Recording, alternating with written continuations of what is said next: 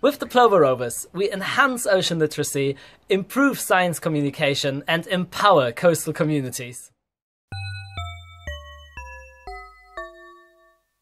Most citizens are not aware of the full extent of the medical, economic, social, political, and environmental importance of the sea.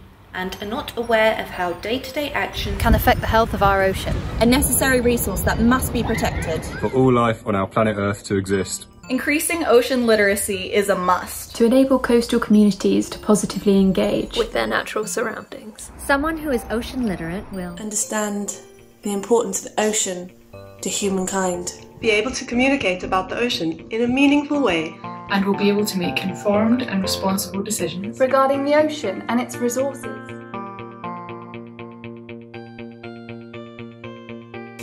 Our Talking the Coast project brings together members of the marine scientific community and locals of coastal communities along the English coast. Our aim is to provide fascinating, up-to-date scientific information. We recognise the challenges facing the UK sea and its coasts are varied and that there is no one correct opinion or view which would lead to an easy solution. We recognise that often the problems related to coastal marine processes are wicked problems with varied stakeholders. We encourage attendees of our events to share their views and reflect on them in the light of science. We do not promote any one view as the right one. We aim to provide scientific background so people have the facts and can come to their own conclusions.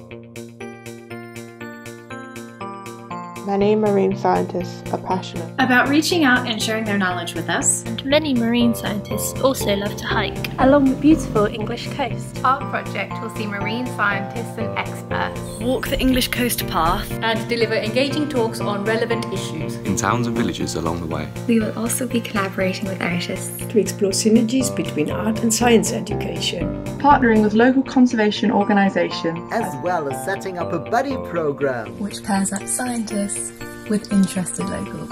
Will enable sustained engagement with the local coastal environment and with marine science in general. The interactive map we're setting up will allow people to digitally access the English coast and find scientific content relevant to the location which interests them, no matter their location or level of mobility.